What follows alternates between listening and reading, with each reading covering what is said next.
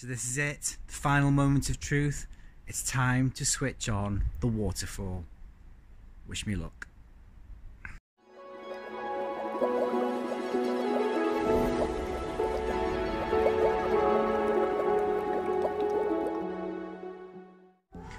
Well, hello. I uh, went to an aquatic shop on the way home from work and went to see if there's any marginal plants reduced to clear and I've ended up buying three koi. Um, two of them are nicely coloured, one's got metallic fins, the other one's got really nice markings and I've bought a dark koi with big scales. I'm infatuated with dark fish, I've got a mirror carp and a common carp which are both dark and now I've got a dark koi. So yeah, I'm going to add those now and I'll see you in a bit. Well, I've left them to acclimatise and two of the buggers have escaped. So there's only one with the metallic fins left in the bag.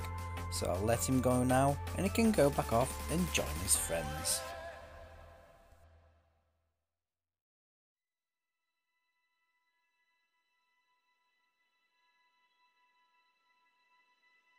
Now when the koi were in the holding tank there was no filtration, so I kept the feeding to a minimum.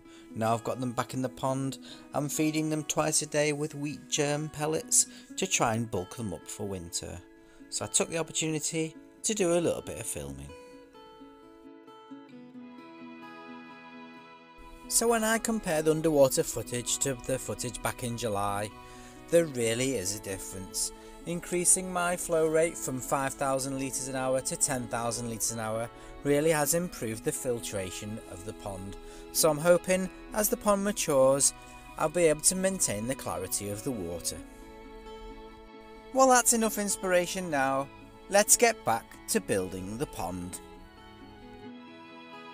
My first job to do was to finish the shallow feeding bay above the fish house.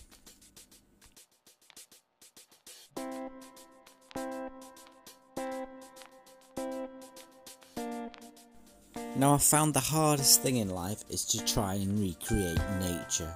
So when I'm building my scape, I'm trying to look for the nicest rocks and the most natural looking rocks. As this is going to be the main focal point of the pond, I'm spending extra time making sure that it looks as natural as it can be, which does take a lot longer than what you expect. At the moment it just looks like a pile of rocks, but once the plants and the mosses are added, it'll all blend in and it'll look far more natural. Now it was just time to finish it off with the gravel and a little bit of pebbles, just so no liner was on show. Once that section was done, it was time to do the rear of the pond and the waterfall. Now the waterfall has got triple layers. It's got the normal pond liner that's underneath, it's got some carpet underlay over the top of that, and then the final layer is the rubber EPDM liner, just so it's strong enough to handle all the rock placements.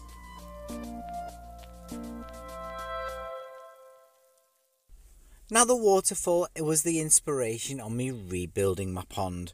When I look back to Mark from Any Ponds videos, he has really nice scaping of the pond and his waterfalls are really nice and natural looking.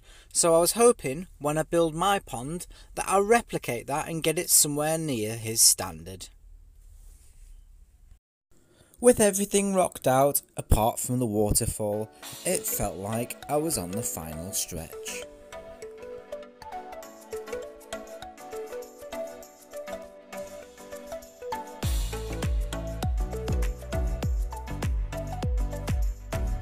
Now when it comes to building the waterfall, it was the bit I was most looking forward to, yet it was the bit I was most nervous about.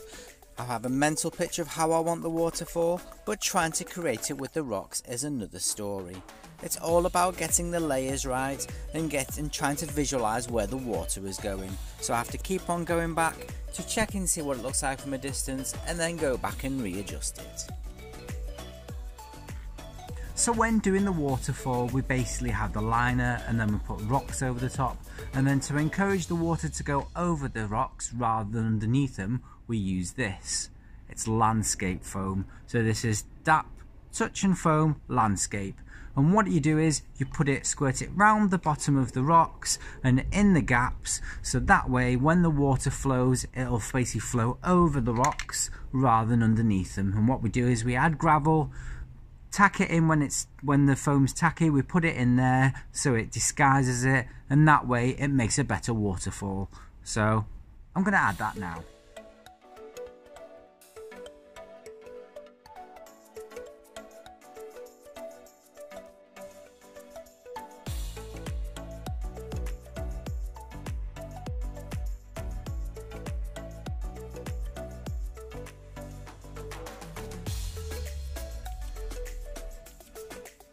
So this is it, final moment of truth. It's time to switch on the waterfall. Wish me luck.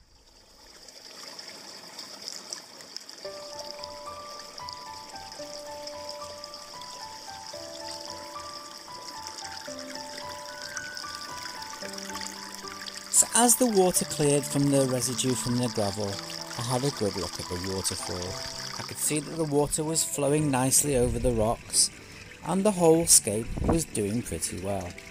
I know that as time progresses the gravel will harbour beneficial bacteria and it will further aid my filter and the waterfall going over the spillstone adds extra oxygen to the pond. So overall it was a great success. So the next thing to do was to clear the garden.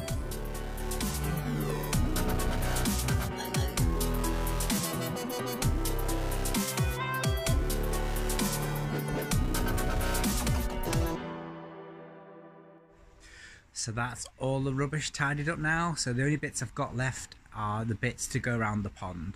So my next bit to do is to bury the piping um, around that the water flows through from the pump to the filter and then I can basically dress it all up with the gravel and plant the plants.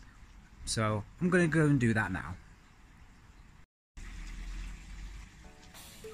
So yeah, I've buried the pipe from the waterfall pump filter all the way around and down to there. I've got to do down the bottom. A bit more rocking and gravel to do. And got to do over in that corner. Just a bit on the waterfall. Um, and cleared quite a bit of the garden though it doesn't look it. So, getting there.